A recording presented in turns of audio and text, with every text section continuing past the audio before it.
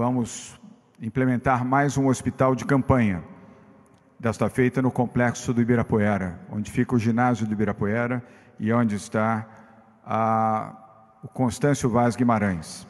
Ali estamos implantando um novo hospital de campanha com a nossa Secretaria da Saúde, o um investimento do governo do Estado de São Paulo, no valor de 42 milhões de reais. Este hospital deverá estar pronto e operando a partir do dia 1 de maio.